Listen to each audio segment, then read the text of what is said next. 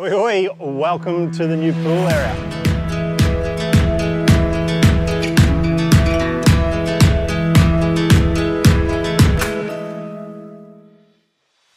So we recently finished the majority of the pool area. I thought I would take you through it, show you the pricing and also a few of the problems that we hit along the way and just take you through why we made this area the way it is. And also before anyone asks why we have a finished pool area, before we have walls, ceilings and floors, the majority of the outside area here was done by other people. So I could keep going on inside. There was a bit of prep work and a few bits and pieces I had to do, but all this was done by others. So we could get this done before I completed anything else inside. So the pool is five meters by three meters. You can see we've got a couple of steps here, one, two, and three.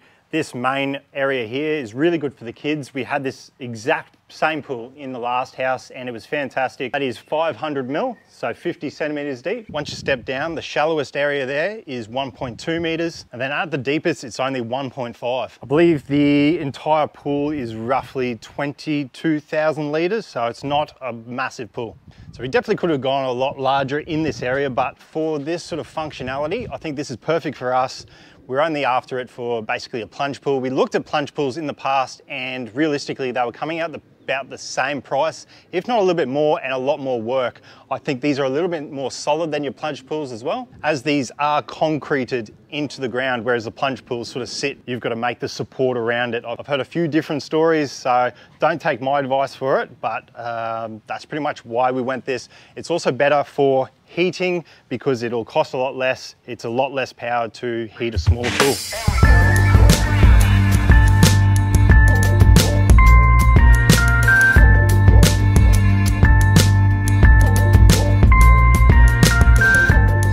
Cover. You can see it fits in there nicely. I did a quick video the other day in my shorts on how I did it. Quite easily, just with a knife.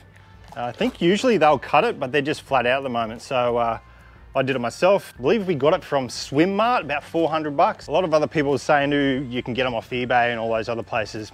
Probably can, I don't really know, but we used this stuff on the last house and it worked really well. So the main reasons for having it is to keep the water in as the evaporation is pretty crazy. Before we put the mat down, I was losing roughly about 20 mils per day. So 20 mils worth of uh, drop every single day. And the other reason is to retain the heat. We are putting a heat pump in and in the last house being the exact same pool and heater without the cover, the heat dropped every single day and you're just constantly heating. Whereas with the mat, it literally kept the heat in all year round. Even in winter, we had the pool running at about 30 degrees, no worries. And in summer, we didn't use the heater, but it just retained that heat and made it a really good temp all year round. So I'll show you how we take this off. It's a lot easier with two people.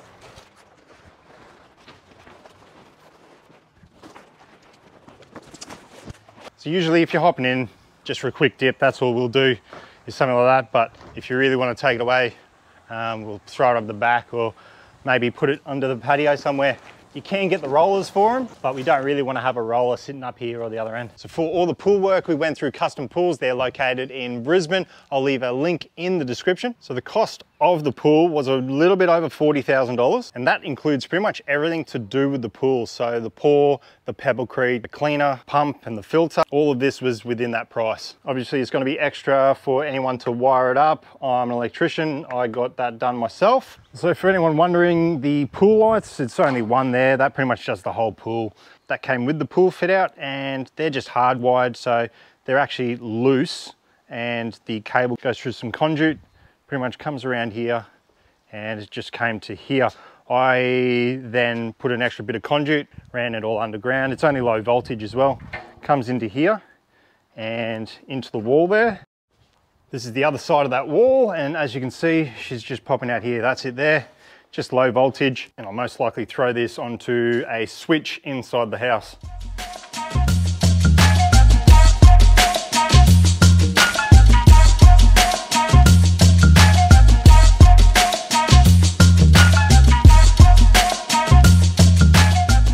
With the glass fence with the uh, white spigots down the bottom. The fence to buy was $4,000 and the installation was 1.5. These are metallic spigots. So we did have to make sure that they are more than 1.25 away from the pool. Otherwise they've got to be earthed. The same thing with the side fence. So obviously this is metallic. So we actually made sure that the pool was away from that. It's not a big hassle, but you would have to earth that otherwise. Talking about the earthing, the earthing was around here. I should have a video with it in it. I didn't get too much of the earthing, unfortunately, but the electrician's got to earth the reo and then uh, take it back either to the local GPO that is on with the motor that is on the pool pump or take it back to the board. So I test that cable and it was all good and then joined it and took it to the local GPO. It's just in the back there. That was the easiest way to do it. We haven't done too much in this area yet. All this is getting changed. It's already changed a lot from what it originally was. I made the provisions for the concrete slab. That's at the exact height that the concrete will be through here. And right here is going to be the heater. That's gonna cost us about $5,000 to put in and all the provisions are already in. Should say also this is a magnesium pool. So what that means is you put the minerals into the pool. As it goes through the pump, it comes through here. I think this is the chlorinator. It goes through there and actually creates chlorine and then uh, pumps it back through. And with it being magnesium, it's uh, quite good for your body and skin, all that sort of stuff. I don't know much about it, but that's what they say. So on top of the actual pool slab, we had to pour around that and that was around two and a half thousand dollars, I think. This is where one of the problems came up. It's not a huge problem, but if you can see, don't mind the paint over there, there's a bit of a slope. So obviously we got them to slope it downwards or um, to the side so that any water will go into the sides there. You can see it over here as well just a bit of a slope. So we had to get the tiler to bring it up. Not a huge thing, but it was one unforeseen problem that arose. Um, once again, not a big one, and the tiler did a pretty good job on it. And for those that are wondering about the tiles, uh, we'll get a good shot without all the dirt. They are travertine ivory grip porcelain rectified tiles, 600 by 600. They're 10 mil thick. So we had a local guy come out to do the deck from Millennial Projects, and this is actually the fake timber. It's called Future Wood. I think the color is Desert Oak. Don't mind all the mess and all the paint on it though. It's um, We've got to tidy it up and clean it up a bit, but turned out really nice. All the edges are really good.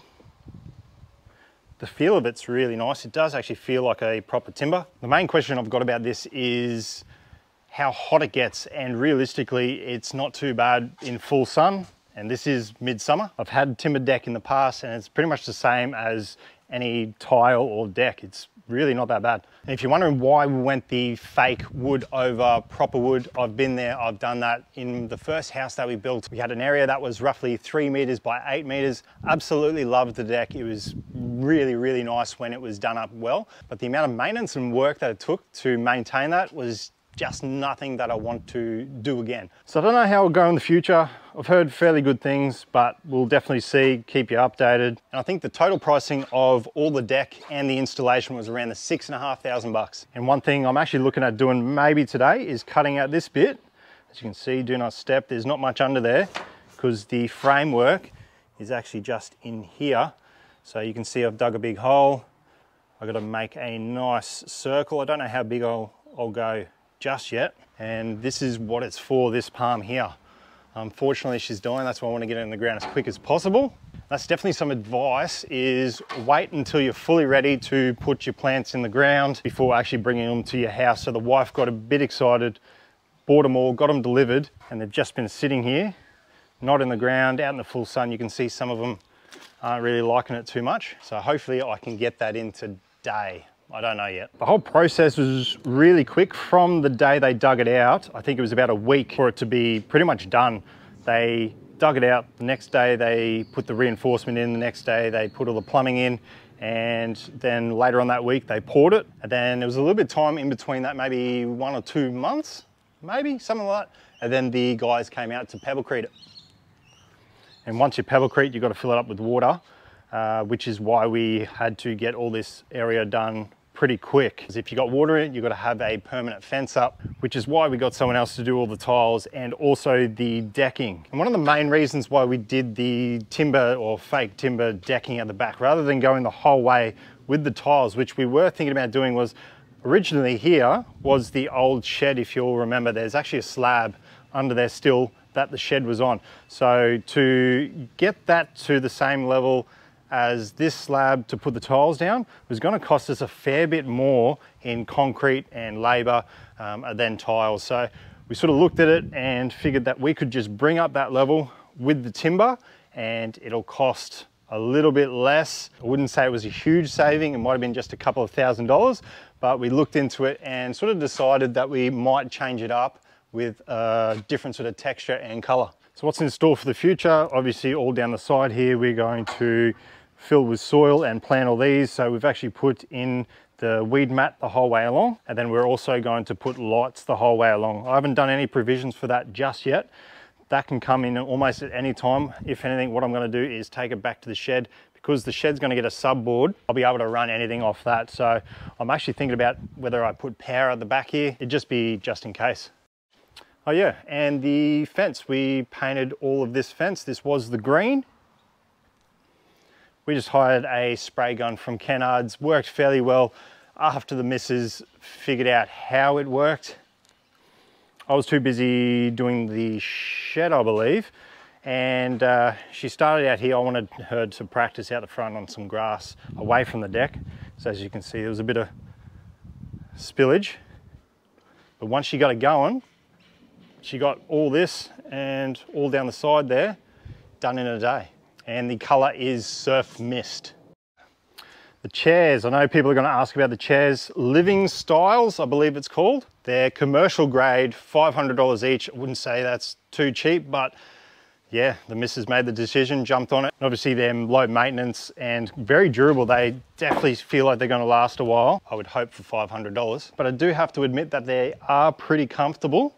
I don't know if the missus is gonna put like a pillow or something on it, but that's up to her. And just being that commercial grade, low maintenance, we're not gonna have to take it inside every time it's gonna rain or worry about degrading over time with the sun. So overall pricing, excluding the plants and all the other stuff. So we're just looking at the deck, the pool, the tiles, the fence, the install, all of that and I think we're just shy of $60,000. That's also including the heater, which we haven't bought yet. So what's everyone think of the area? If you've got any questions, anything you wanna know about that I haven't covered, I'm happy to uh, answer your questions in the comment section. And also I might even do uh, more of a video later on the rest of it. And if you wanted to see the shed install with all the problems and all that sort of stuff, or anything to do with the renovation inside the house, check out these videos. Cheers guys.